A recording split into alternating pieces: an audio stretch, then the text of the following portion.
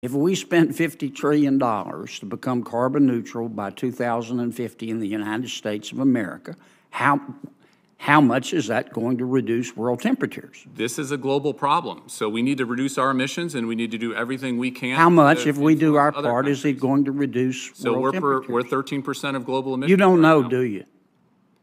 You don't know, do you? You can do the math, we need to. You reduce- don't know, do you, Mr. Secretary?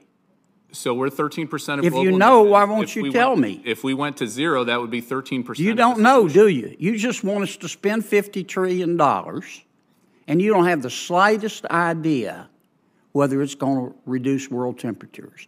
Now, I'm all for carbon neutrality, but you're the Deputy Secretary of the Department of Energy, and you're advocating we spend trillions of dollars to seek carbon neutrality, and you can't, and this isn't your money or my money, it's taxpayer money, and you can't tell me how much it's going to lower world temperatures?